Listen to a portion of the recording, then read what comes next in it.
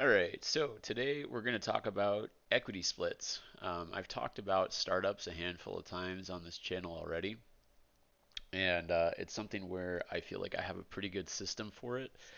Um, and I'll just sort of start out by saying that the main thing, the main objective that I have for anybody uh, when it comes to equity splits is to just offer the utmost flexibility while maintaining contributing your assets to the business.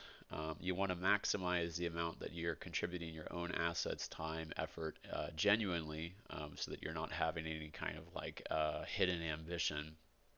And at the same time, you want to have a structure that allows you the the comfort uh, in order to proceed.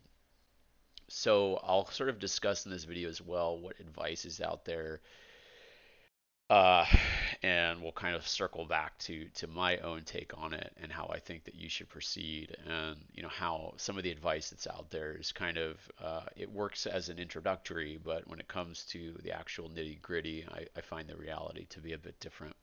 But then again, some people live in different realities than I do, so you might find their advice to be more appealing. But I'll discuss when you would take their advice as well.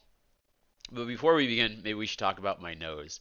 So two weeks ago, I had a surfing accident, which in the gamut of all of the different, you know, extreme sport style things that I do, whether it's mountain biking off of ledges, snowboarding through trees, or just surfing in greater than overhead sized waves, you know, I was very fortunate to have gotten off this easy. Um, wound up with a surgery. Uh, the, the surfboard uh, essentially cracked me right in the nose.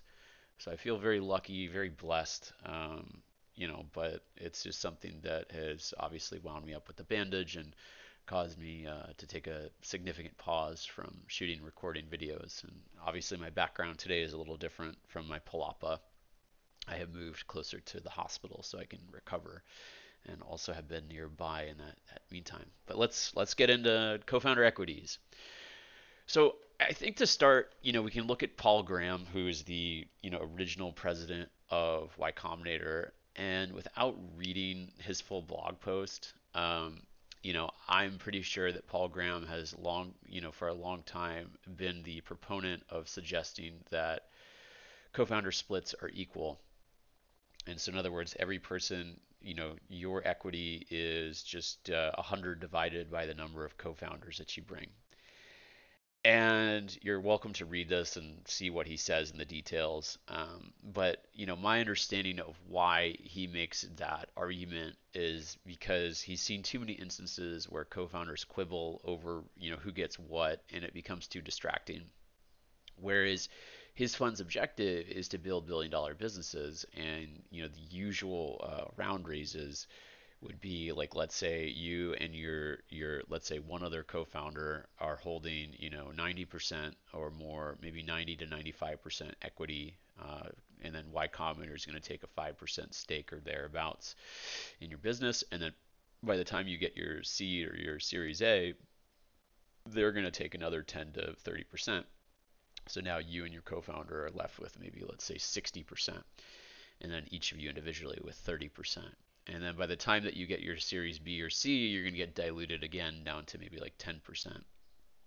And so his argument is that you know it doesn't really matter at the point that your shares are worth 50 million whether you're worth 50 million or 100 million you're still you know you now have gone from zero dollars to you know lifelong riches and he would rather see you know the the skills and the talents of the co-founder get out of the way as quickly as possible in order to build the business.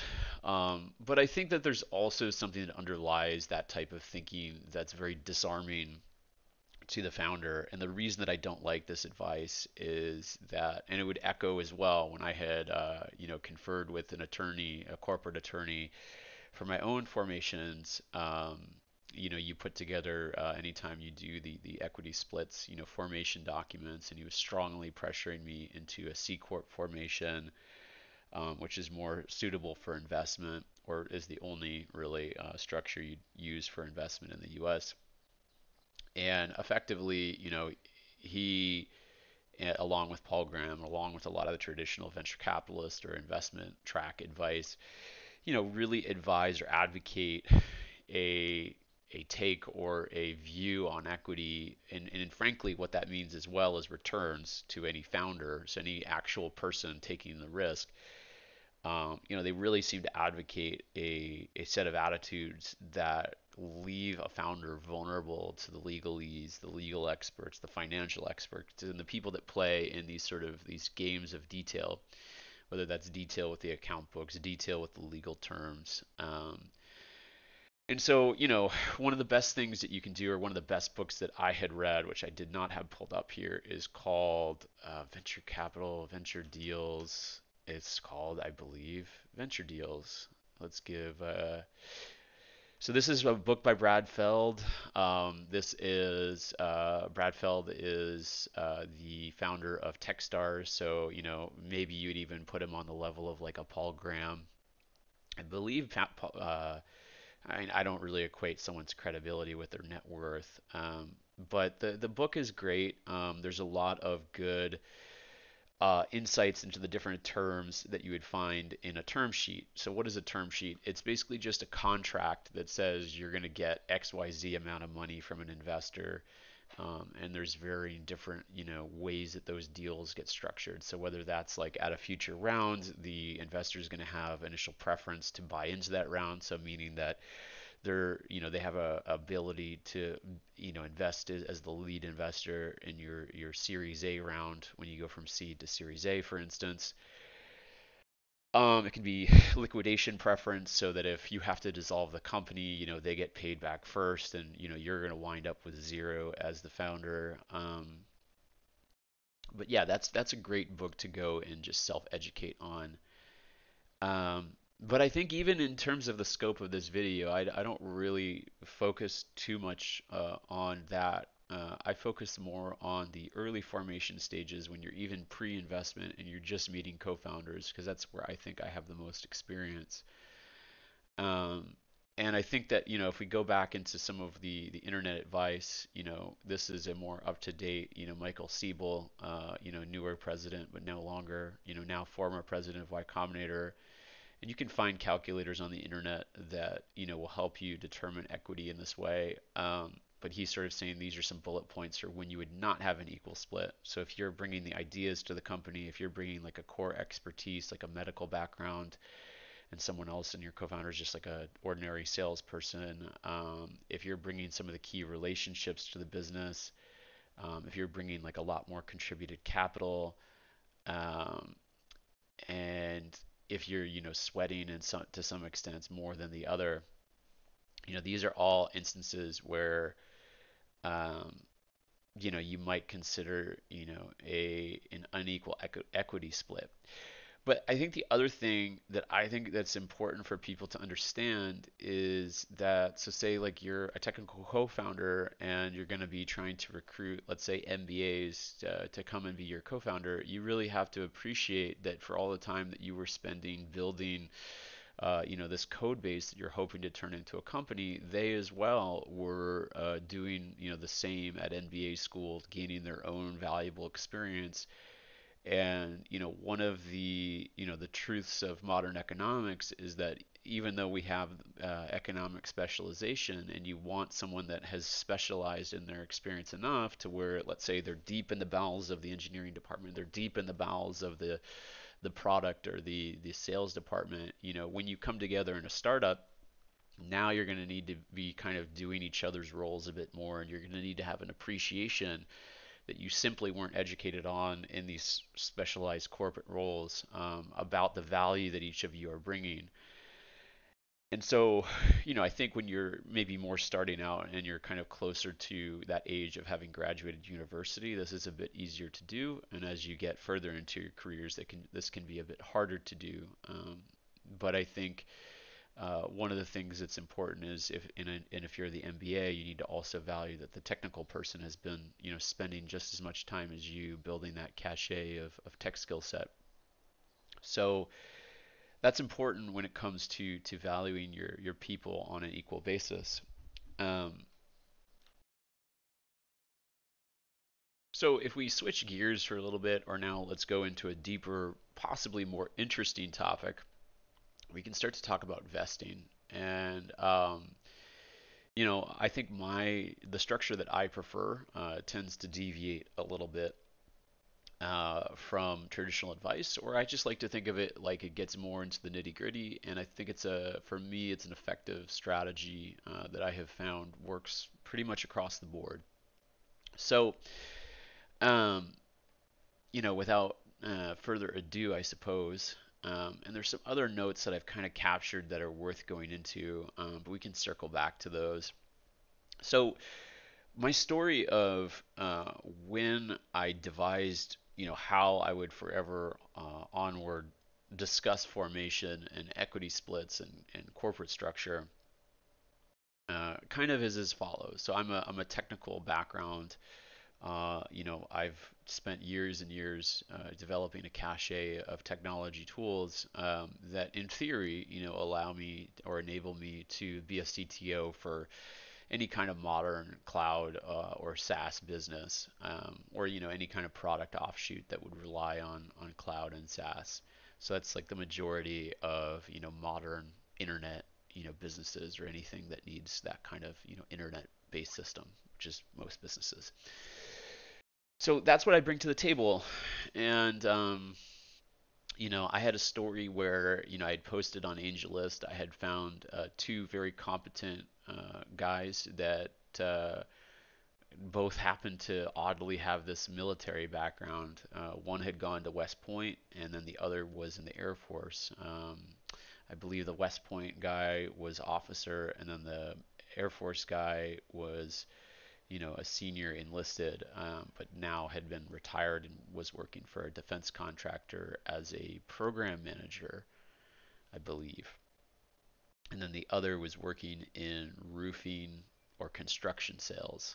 Um, so, the, so here we had a team of I was the tech guy. Uh, we had the you know the sales guy that believed he could go out and sell anything. He just needed to educate on technology. And then we had the operations guy who oversaw, uh, you know, program managers. Um, so he wasn't on the product side, but he would help implement or oversee, you know, a team, teams, multiple teams, uh, in order to implement things. So we had the guy that loved the spreadsheets, we had the guy that loved to go out there and get on the phone, and we had the guy with me that loved to build stuff. And yet, when it came time to formation, there was a big struggle um, because I, you know, was the one that kind of brought us together. I was the one that was proposing the idea. And I realized, um, you know, that as I was, uh, you know, bringing us all together, that I was also a bit inflexible in terms of, you know, they wanted to go down this route of chasing government contracts in .NET. And I don't think that they were very educated to know that, hey guys, I write JavaScript code. I don't just pivot what I do into being like your code monkey and writing .NET. And I could feel in our conversations where almost there was this this tension or this pull where you know there was a desire to almost pull the the resources that we collectively had into a direction that like ultimately influenced the amount of control that that one person or the other had and so here is a situation where you arguably had, you know, three very alpha dudes that all wanted to to power, you know, in their own direction as much as possible. You just had different approaches. I was kind of like the stubborn, aloof one who kind of would play the game, you know, of like detaching myself completely if that's what I needed to do to get control. You had the the operations guy who loved spreadsheets and was willing to go into the numbers to, you know, to vouch that he deserved the most equity and control because he was the most capable of managing it. And then you had the sales guy who was convinced that he was the most capable because he could go out and you know actually get the deals that resulted in the revenue and cash is king in business. So this, of course, forced me to really strongly consider, you know, a structure uh, that I was I was willing to accept and I think the the core assumptions that I learned um, that I encourage everybody to come up with for their own you know dealings, uh, both in in life and in business generally. Uh, and I think specifically to technology people, I think where I landed could apply to a lot of people. But I wound up finding myself telling these guys, look, I'm like a roofer. I will build any kind of roof you want. I will do it under any kind of constraint that you want, and that's my professional delivery. Um, but what I discovered over time was the saying that I will build anything you want, but you cannot take my tools, meaning that I was okay even to give these guys, let's say if they wanted to give me a 20% share of the company and you know each take 40 for themselves that would have been fine uh, but i instead of like giving up all of my life's work and tools that i use that was going to instead uh, be worked in as a licensing deal. Now just like with the paul graham you know that we started out this video talking about you know many investors simply will hate stuff like that because they view that as co-founders quibbling uh, and you know making things more complicated, ultimately making the business less attractive to investors. And at the point that you're earning a billion dollars, which you know the, the co-founder or sorry, the founder's perspective is like how many of the Y Combinator businesses actually hit a billion dollar valuation? Maybe like one in 500, one in a thousand. So to bet your life's work on a one in 500 or one in a thousand chance, you know, no one's really willing to do this. Or on the other side, you know, most of the technology founders that do make this bet then wind up, let's say, breaching their own contract, you know, hoping not to get caught by like taking their tools and then repurposing it for like the next startup or their next pet project if it if it fails. So I don't personally like those approaches. I like trying to be honest, straightforward, and reliable in business. And I, I think that you know your two options become like, are you willing to breach contract and hide away, you know, that you're going to use your tools here or there and just not tell anybody. And I do think in the news we at least are starting to see an uptick in prosecutions of investor fraud. Not that this would be investor fraud, um, but generally speaking, if you're a technology person, I, I advise thinking of yourself like you're a roofer um, and that you're willing to build whatever, but you know, guard your tools. Um, but I think that if we talk about you know the MBA perspective, you know what I learned from working with these guys was that I don't want to stand in the way of someone who's driven, who's smart, who's capable, and I want guys like that to be able to take a 60 or 80% share if that's what they want to do. Um, but at the same time, I because I'm driven to to build startups, you know, I'm just as willing to take the 60 or 80 percent and give them 20. You know, they might not be depending on the type of role. Maybe that's not a fit. Maybe you do want in a sales role someone that is that driven. But maybe if you're talking about operations and you know book management, maybe you know lesser. You give them more of a uh, income and you give them a lesser set of equity. So that's that topic in terms of like where I landed in terms of uh, you know how do you protect your tools and I think my answer is through things like licensing deals. Now you can have your licensing deal vest over time, which I think leads us into our final topic of vesting. Um, and there's this idea that you could have a clause that says something like, you know, upon reaching a, you know, pre-money valuation in the business, and you'll have to go read that venture deals book that I had referenced. Um, but upon reaching, you know, a uh, a pre-money valuation of let's say 10 to 30 million, at that point the um, the business can have the option to purchase the license, uh, you know, into like an ownership or something thereabouts. Let's say for $500,000 or something. Give yourself like a nice bonus. Uh, for allowing the tools to vest to the company, give the investors that option but what I like to try to do with the licensing is additionally offer exclusivity so that the tools can't compete in any other um, uh, type of segment that's similar. And I think another model that you know is handy or helpful to consider that it just at least exists out there is the joint venture model. Um, and so I'm not saying that with this type of licensing deal that the joint venture is exact, but a joint venture basically says, for instance, that you could take all of your assets and tools. Um, let's say even if you're, uh, you know, some kind of a, uh, you know, a non-technical person, but let's say you have a lot of no-code based, you know, automations that you've written up in like Notion or ClickUp or into Airtable, and you want to just bolt them onto the business, but you know this is something you've worked on for two or three years you know, a joint venture can give you some of the inspiration of terms, you know, over which you would say, you know, during the, the course of the company, you know, it's going to be your you know your core focus um, of time uh, is going to be with the joint venture that you're pursuing with others. And that at the end of the duration of the joint venture you know there's the option to vest all of those contributions into you know a different and to be negotiated set of terms that you know expand beyond just exclusivity um, but this is something that you know generally the the legalese of a joint venture is generally considered complicated enough um, and would be different I think sometimes the joint venture can take on its own corporate entity, sometimes it's uh, not.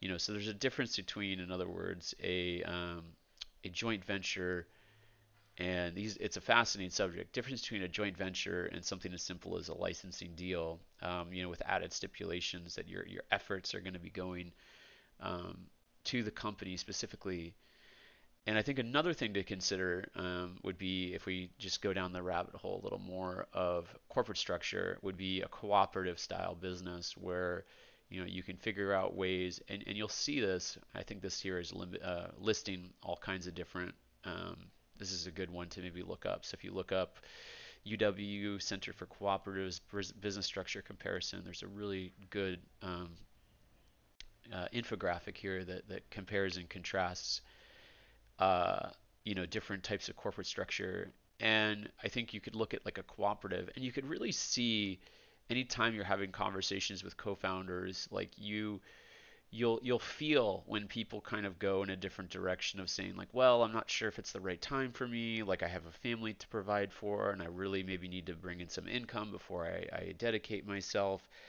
And what I kind of advise people to do is, you know, you have to kind of consider that, you know, when you're talking to co-founders, you know, it's got to be the right timing, the right skill set, and the right, you know, willingness. Um, and it, to, to find these things is so rare. To find someone that's willing at that given moment with the right skills to invest time into your, your company, it's a pretty rare event. Um, most of the time, you know, people are either going to need to be, you know, you'll find people that all the time are really just in the job market needing to make money.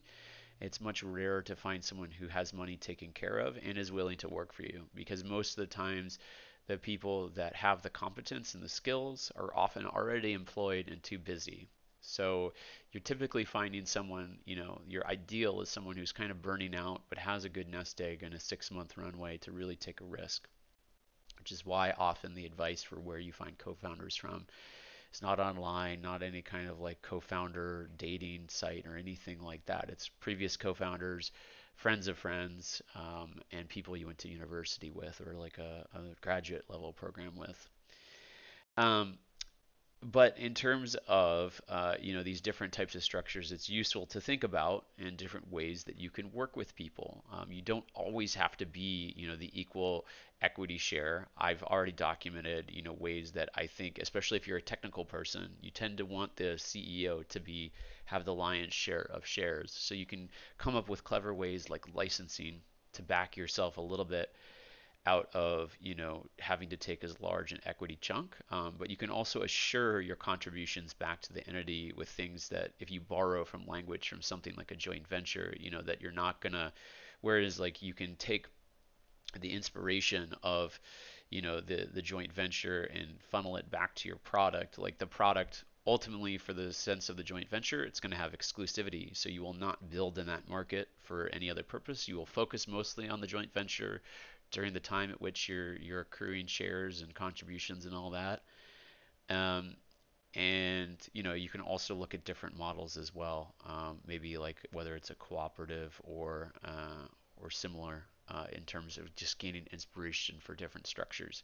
But your goal shouldn't be to tie yourself to a corporate structure or legalese. Your goal should be again, if we go to the very beginning of this video, you want to offer the most flexibility possible while maintaining your best genuine efforts and contributions to the startup. So you want the structure stuff to get out of the way. And in that sense, I do agree with Paul Graham.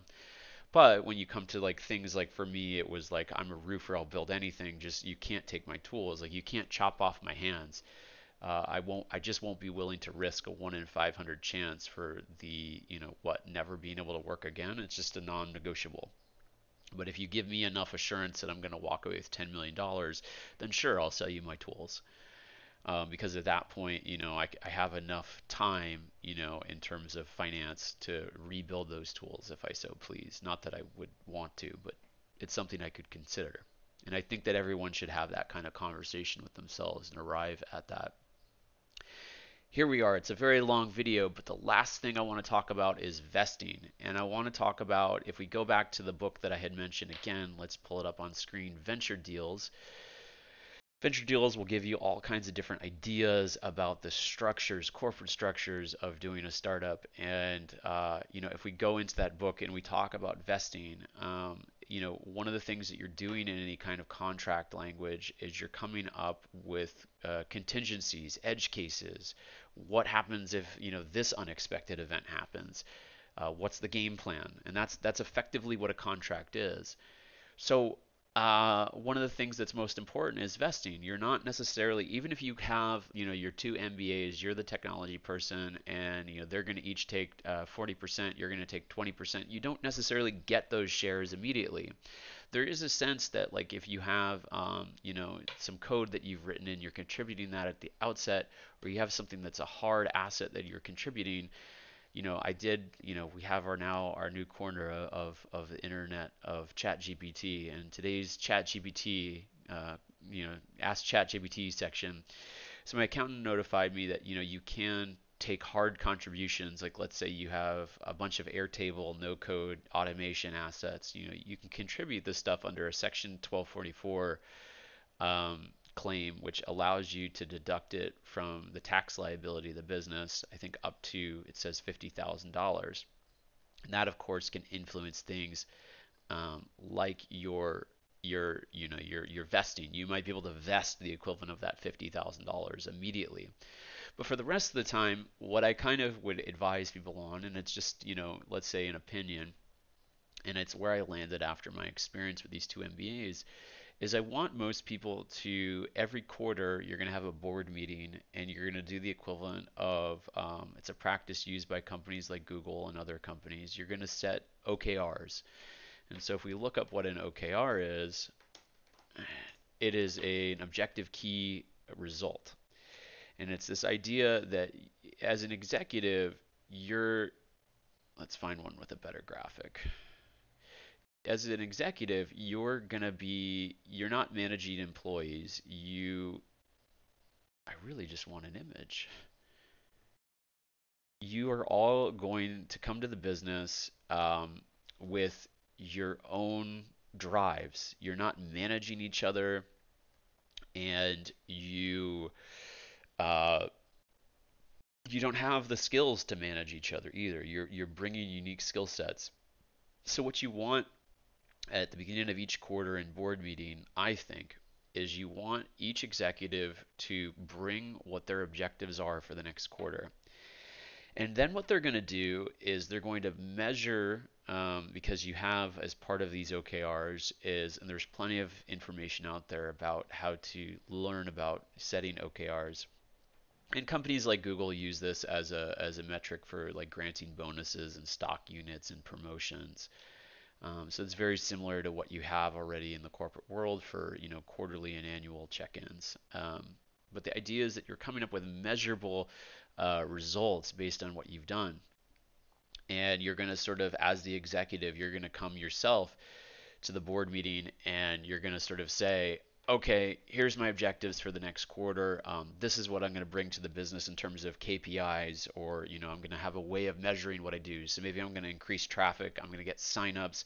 I'm going to go build a database of 500, uh, you know, cold lead contacts that we can then warm in a CRM. I'm going to, you know, go present to 50 investors. Those are all measurable things.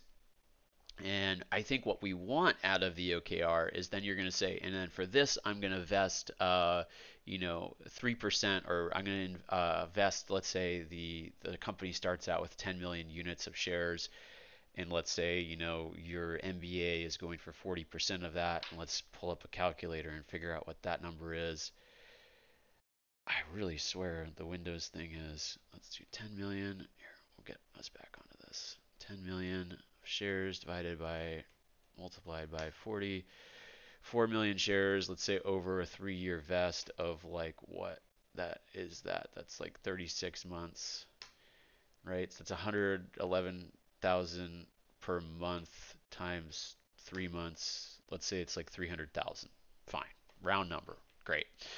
So they're going to say that okay, I'm going to uh, vest my you know 300,000 uh, shares uh, as a result of getting you know 50 investor meetings. I'm going to have a, a database uh, and a CRM that I set up of 500 you know sales leads that we can warm over you know the following quarters. So now you have not only a you have an executive, uh, your co-founder that has justified their shares in terms of KPIs. Um, and so now you can hold them accountable. So if they don't, and I, I sort of advocate having both a baseline, like I'm just gonna be there also for meetings, and this is this is what I'm gonna get just for existing as a co-founder, and then you're gonna have performance-based goals where if I achieve these uh, metrics, then I'm also gonna get, get a, bo- a bonus in terms of stock units. So I believe in having a mix of those kind of incentives.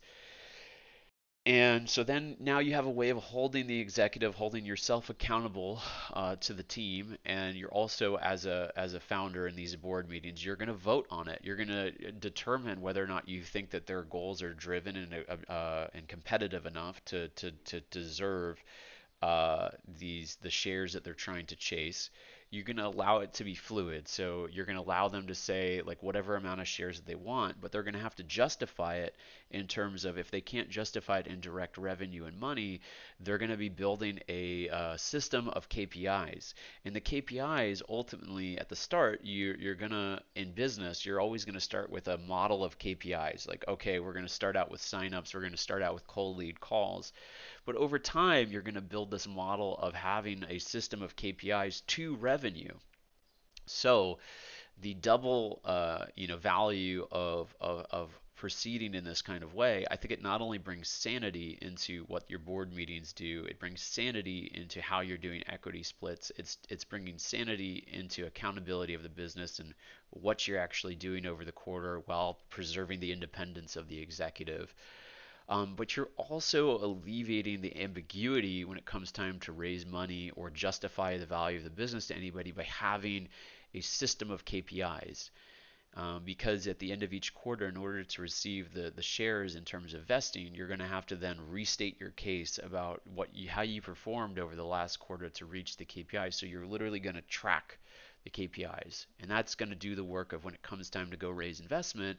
Now, all of that data goes straight into the investment sheet, and you've saved yourself a lot of headache and a lot of time. So that's vesting. And I think that that's about where I tend to cut off the advice. This is a very long video today, um, but it's it's a great subject, and it's it's a subject that I have spent a lot of time on and you know gotten myself into numerous situations where I've had to think about this and you know I know that from the system that I've kind of devised you know I'm I feel as though you know I'm I'm quite successful at it because you know what you really want out of your system and I encourage you to come up with your own system and feel free to borrow from these ideas if you like is you'll see it work. You'll see it when you talk to people that you again, you mostly just want the flexibility of I'll work with you in whatever capacity you want um, so that we can obtain profitability together. And the legal structures are important, I think, to educate yourself on, but don't ever be bound by them and don't ever get yourself into a situation where an investor or a lawyer has an upper hand on you as well. So let's cap it there. We'll do another video, and hopefully by next video, my nose is doing better. Um, and carry on. And I hope you have a good time finding co founders for yourself. Till next time, like and subscribe.